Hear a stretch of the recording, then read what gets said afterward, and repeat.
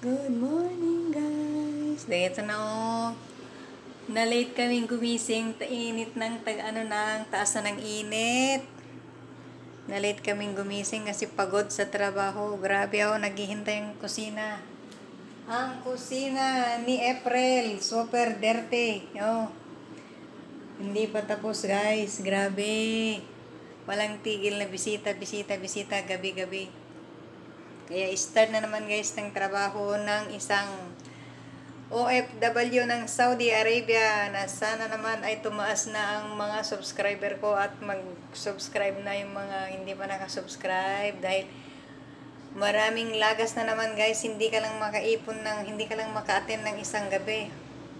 Paggising mo ng umaga baba na naman wala na namang matitira guys. Kaya mahirap mag-ipon ng subscriber. Pero magaling mag-subscribe. Madali akong mag-subscribe pero mahirap akong makaipon. Kaya ewan ko guys. Kaya Eto guys, good morning. Magkape na lang tayo guys. Dala ng kape at saka insamada. Bumili kami ng insamada at kaya to kain na lang tayo at magtrabaho ulit guys. So yan. Yala April, bago na April. Start to work again April. Maraming naghihintay sa atin. May naghihintay pa dito na pagkain natin, Esprel. Meron pa, oh. Tignan mo naman, dami pag pagkain na natira. Halika na, tirahin natin lahat to. Halika na. Oh, yan pa yung sweat. Saan? Bili.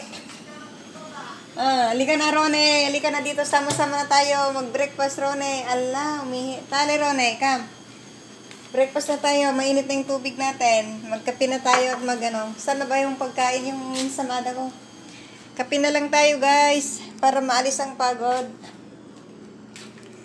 Kape, kape guys, kape, kape. Yan. Daming trabaho guys, naghihintay. Marami. Hindi ka maka-absent ngayon dahil daming trabaho. Magluluto pa ako ng maggagawa ko ng yaris. Si nanay ko ang magluluto, ako ang maghiwa. Mainit pa na ko.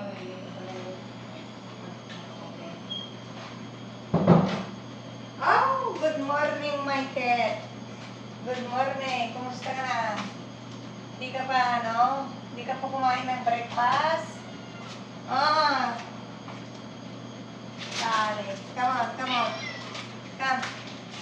Your breakfast is ready here. Teka, nasa...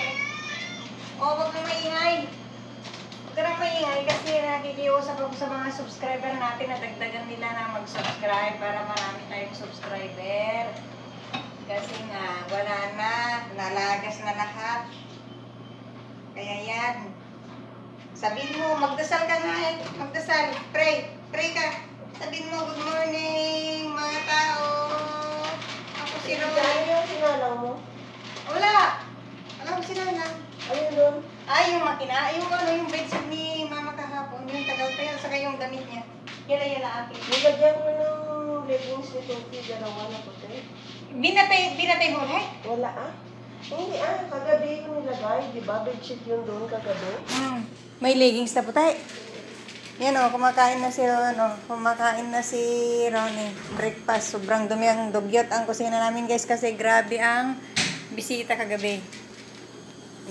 Bisita kagabi na grabe mga 60 na tao kasi parang binyag na yung baby kaya daming, ang daming kaya hindi kami kagigising lang namin tapos naghilamos, nagbrush, yan, magkape ulit, magtrabaho ulit, mamaya na ako maligo guys kasi paliguan ko pa yan.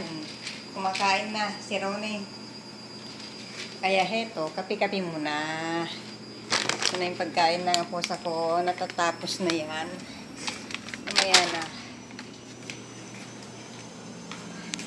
Kape na lang guys kape-kape na lang sana yung kape ko. Kape ang laban. Yan mainit na yung tubig ko. Saka ito guys napakasarap yung ano ito. Dito na ubos ang pera ko guys to. Itong halip na to at saka yung kape yan. Pero free naman to. Every every month bumibili yan. Pero ngayon hindi kami makapasok ng supermarket guys. Yan ang problema ng isang OF ngayon dito sa Saudi Arabia. Hindi kami makapasok sa mga supermarket, sa bank, ganyan, sa grocery, sa mall. Hindi kami makapasok guys kasi kapag hindi ka naka-open ng ano yung application mo na tawakal na, hindi ka makakapasok. Yan ang problema ngayon ng Saudi. Yan ang problema namin ngayon mga OFW kasi ang hirap, ang hirap mag-open. Meron akong na-open, kaso lang, hindi ko alam kaya hindi ako makakabili ng pagkain ngayon. Yung isang Pilipina, marami siyang tinda na mga, kasi sila nakakalabas kasi may ano na sila, eh, naka-open na sila ng tawakal na sa amin, wala. Nga nga, hindi lang dito lang kami sa bahay nakakulong. Ay, hindi naman kami nakakulong. Makalabas naman kami pa, ano, palakad-lakad. Pero, pag pumunta ka sa, yan o, yan si April, ang ganda-ganda niya. oh. April! Yan, taga Davao. Ay, um, sorry. Puro, ako kasi wala na eh. Ulianin na sabi nga ni April, "An- ate, matanda ka na. Paulit-ulit ka. Eh, sabi ko, oo, matanda na ako. Hayaan mo na. Ganyan talaga eh. Dito na nagtanda yan. Nasaan na yung tasa ko? Ba't hindi na ma-open yung pinto? Sarado mo ngayon. Ay, Magkape ka muna bago ka maligo. O sige na nga. O, di ba yan, nandyan naman yun, naalalay ko. Mabait naman yan. Para magtrabaho na magtrabaho na kami guys. Para mamaya, kakain, lalayas na naman ang mga amo. Di ba? Yan ang buhay dito. Kami, hindi kami makalayas na punta sa mall. Hindi kami makalayas guys kasi bawal ang bawal ngayon ang lumayas kung wala kang naka ano sa application mo sa cellphone mo na tawakal na. Sabi nga nila tawakal na, tumalna ka, huwag ka nang lumabas. Ganon lang ang problema. Yun o, to, to. Kape ko maliit lang yung tasa. Bakit parang hindi mainit yung tubig? Yan. Tapos yung insamada ko, nasaan na ba? Meron akong insamada.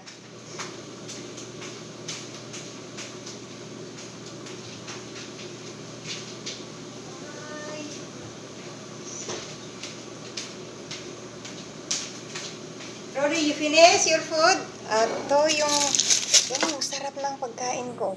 Yan, ang insamada namin. Oh, hiraw mo gabi. Oh. Ang laki yan guys, ang laki. Yung insamada na napakalaki. Etrial lang. Oh, etrial. Naghati kami ng kasama ko. Etrial na insamada. Pwede pa yan, oh. Kahit 3 times mong kainin sa breakfast. Painit ko nga sa microwave para ma ano, maalis yung germs.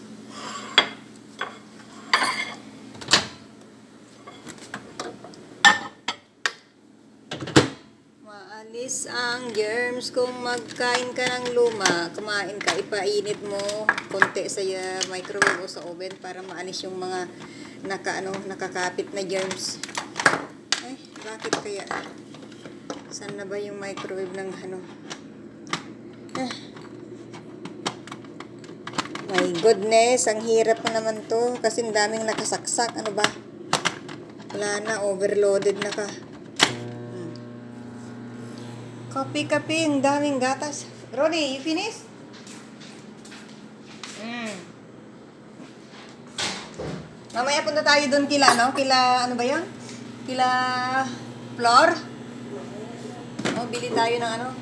Bili tayo ng... Ay, na-over yun. Na-over na. Mainit na ba? Oh, yan. Tama na yan. Konting init lang. Magbili tayo ng ano, ng sardinas. Gusto ko. Kahit isa lang. Ihalo ko dun sa pansit. Pansit. Pansit ng Kabagan. Pansit ng Isabela. What kasi ang daming akrat. Grabe. Nakakalula na yung kusina ni Lydia. Ikaw, Ronnie, ha? Buti sa'yo. Wala nang problema, Ronnie. Yan. Kaya magpakabait ka dyan sa akin, okay? Ha? If you know good, I will beat you. I want, I'm tired, Ronnie. Ha? Di ba, bisawikat kayo na? Saan? Gusto ko yung... Ang sarap, guys. Oh. Samada. Hugasan ko muna yung kamay ko. Baka may nakakapit na dyan.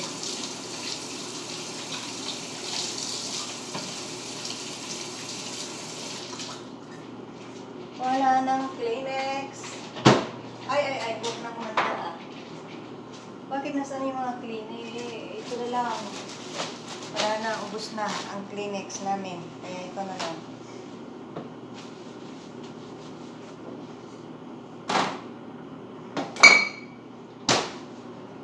Kalat dito, kalat doon, kalat dito, kalat doon. Nakakainis.